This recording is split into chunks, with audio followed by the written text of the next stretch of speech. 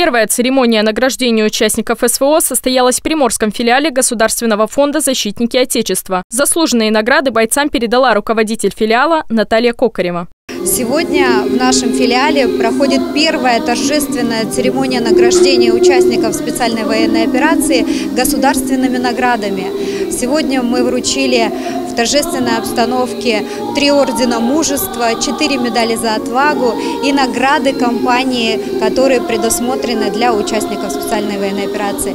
Подвиги и значимость бойцов пришли поддержать семьи военнослужащих, школьники и сослуживцы. Для нас нет разницы в непосредственно, да, как, какой был подвиг. Подвиг в наше мирное время, что человек просто встал и по призыву мобилизации или по долгу службы пошел защищать Родину, это тот человек, перед которым мы преклоняемся.